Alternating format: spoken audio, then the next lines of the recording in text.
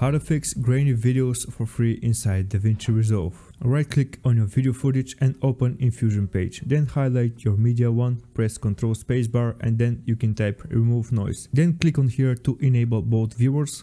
Then highlight media 1 and press 1 and then media out and then press number 2. That way you're previewing media in and out on the left and the right side. And zooming in for better understanding of what we're doing, I'm adjusting the second window and we're ready to begin while highlighting this remove noise node that we have just added. Then you can select this drop down menu right here and just beneath the color you can select red. That way your media out will be currently on black and white without any color. Now we can continue to inspector which is on the right side and we're gonna start out with the first field which is softness red. You want to increase that values of your liking depend on your footage but don't overdo it because it's gonna be too blurry. After adjusting softness red, you can go down and find detail red. This is something like a sharpening, so you want to increase this by a tiny bit. It is all based on your footage. Then go to softness green and increase it of your liking and then go detail green and do the same as you did for the red. Then go to softness blue, increase the values of your liking again and then go to detail blue and adjust it the final touch. And after you finish adjusting all the softness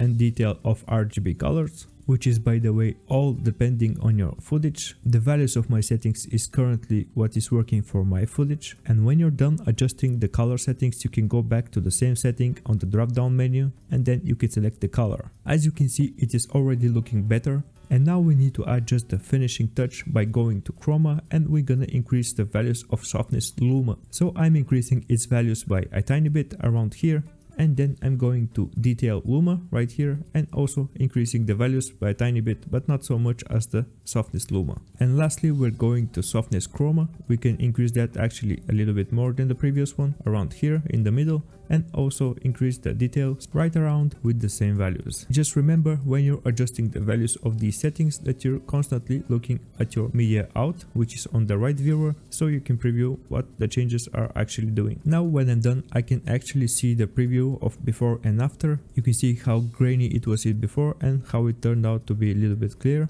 And remember to not overdo it since it's gonna become too blurry.